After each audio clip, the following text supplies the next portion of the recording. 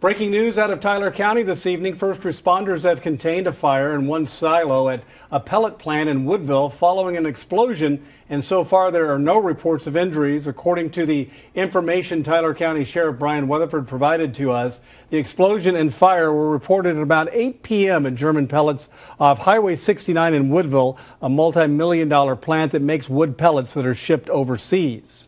Again, the Tyler County Sheriff's Office tells us tonight the fire in the silo has been contained and there are no reported injuries. Highway 69 is shut down for first responders and for safety reasons. This video was taken by Crystal Gregory.